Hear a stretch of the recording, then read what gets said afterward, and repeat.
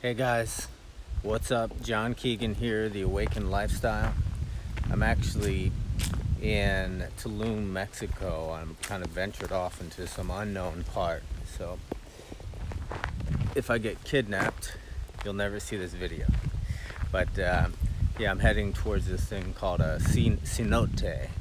And it's some kind of some kind of lagoon or something where you swim underground. I just don't know. I'm about to find out. But um, it's not like America. I take some weird bus to get here. Uh, they dropped me off and I've been walking for about two miles now to the place. So I'll let you know when I get there if it's by the end of this video.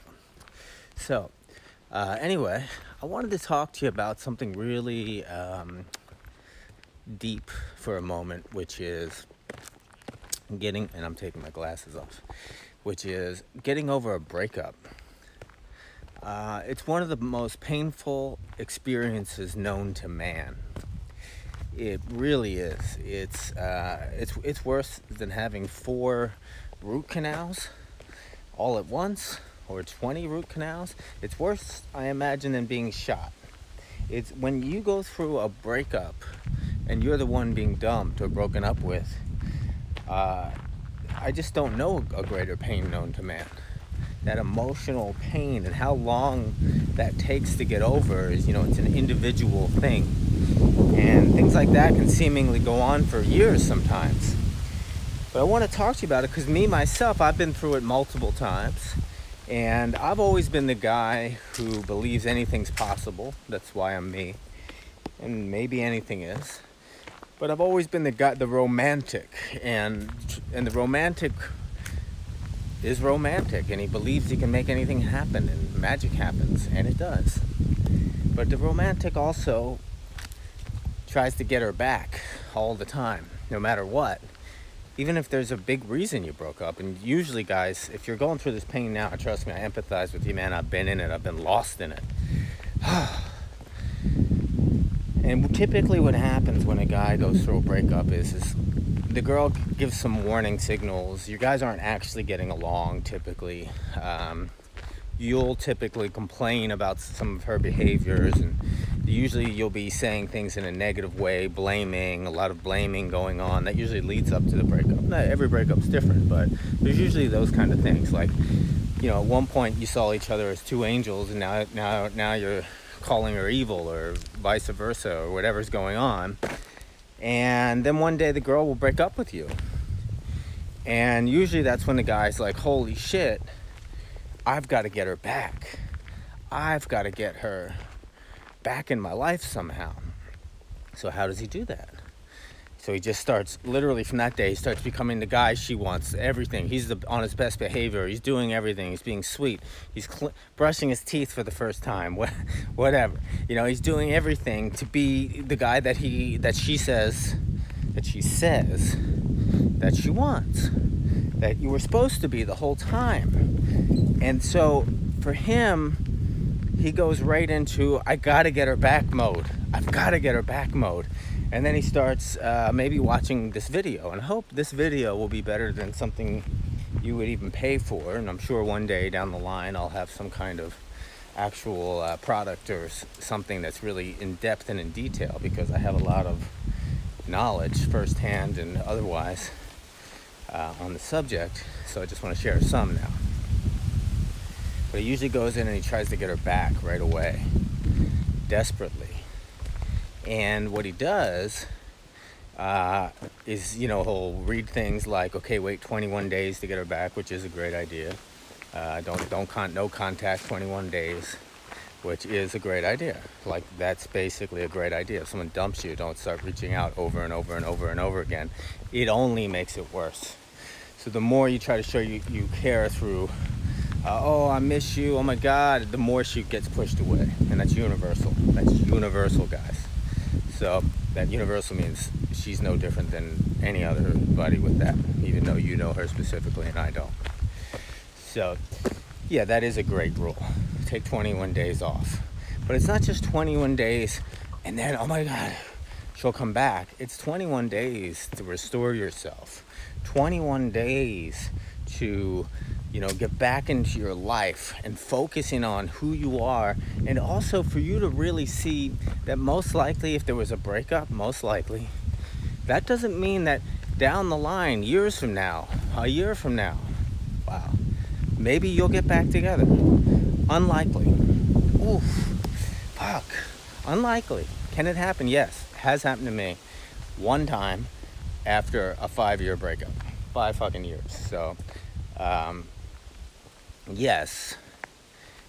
But what I saw after all those breakups and all those attempts of trying to clean up and everything is that when a woman hands you your pink slip, your you're done, the note, and I've had, literally had a Dear John letter written to me. Dear John, literally. I mean, could she have been, and she handed it with pride and pleasure and in perfect handwriting, and it was eloquently written, and I went, I couldn't believe it, you know when they get to that point, they've already been thinking about it for months, weeks. This is not them them playing a game.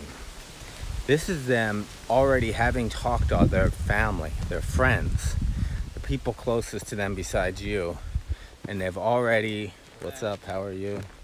They've already given in to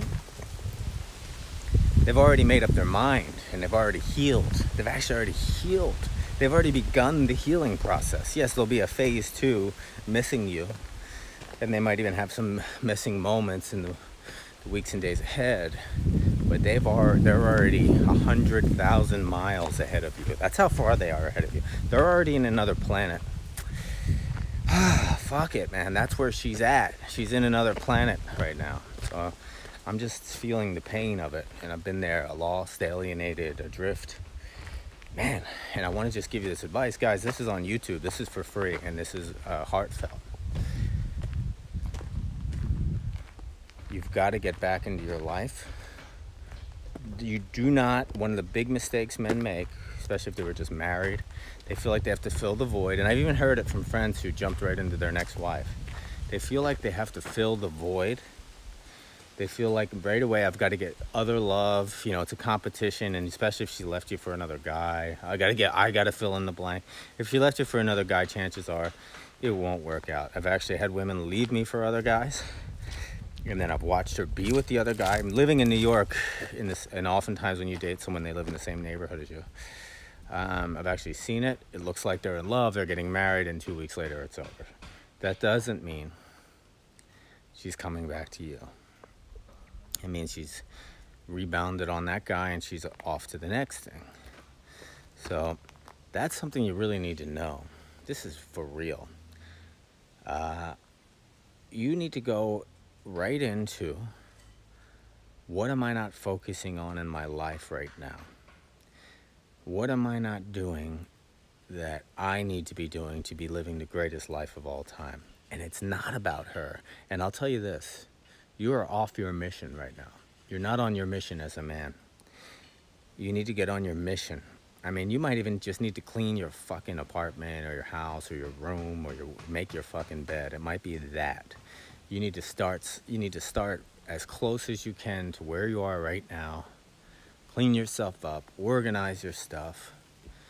Go get a pen and a piece of paper and start making a list of the things that you need to do to get your house in order you know, like paying your taxes, like, uh, you know, certain bills need to be paid. You see these little things. I need to, I would like to start really focusing in on my health. Am I eating well? Am I, am I sleeping well? Am I exercising? These things are so vital, you know, and how you do choose to do that is, you know, whole other things. I don't eat any processed foods ever, you know, uh, sugar, flour, uh, you know, uh, I, I, try, I do everything I can to eat organic. Um, course, that's what we're made off of, and that's what I'll stick to. Uh, and I function very well. Um, much better than when I didn't do that. So that's another topic. But really eating right and drinking lots of water and sleeping right, taking care of your vessel in this time is critical. As Freddie Mercury said in the Queen song, you got to keep yourself alive. You know, put that on because you do have to keep yourself alive. And this is a crisis you're in. It is. It's one of the worst crises you'll ever go through. I've been in it. Fuck it, man. Brutal. So you got to keep yourself alive, take care of yourself, nurture yourself, talk, reach out to friends, have conversations, reach out to women friends, reach out to your family, reach out to whoever can, who will listen to you and talk to them, right? But also start focusing, but don't focus on how can I get her back. I can give you this one note on that. You must wait at least three weeks. Do not reach out to her. She's giving you the slip. And then I can tell you over and over, guys who have done that. I know a guy who out of nowhere. They weren't. They were getting along. You know, they were getting along much better than even I was painting a picture of before. Although there were some complaints and some some reality that he began to see many months later that she actually wasn't for him. They weren't for each other, and she actually uh, was bringing him down. Uh, and she broke it off. But when he followed that advice I gave him, which was, and, and his opinion was, hey, you you dump me, I'm great. I'm a great human being. You want to you want and he was he's a serious guy. He's not, you know, fooling around. He wanted to have a really he was going for wife material. You throw me that pink slip. Once you do that, I can never trust you again. I can never trust that, you know, you won't do that, you know, you bring me back in and do it again. And the reality is, is she probably will. So, several months later, she came back. Uh, she called, left a message about wanting to meet up. He did not respond. She wrote him a letter. He did not respond. She inquired through friends. It, it jarred him because he had a lot of feelings for her. He really loved her. He really saw her as wife material, actually. It jarred him. But man, he has real integrity. And integrity trumps all. So I admire that guy for that because he never went back. And now he's dating a, a beautiful, stunning woman. In fact, uh, I won't say her name, but she has 13 million followers on Instagram. Uh, so that's what he went went into, you know. And that's some other advice. The reality is, is there is rainbows and unicorns on the other side of this. There is, uh, you know, life is better on the other side of this. I can tell you, man, uh, my life's fucking incredible.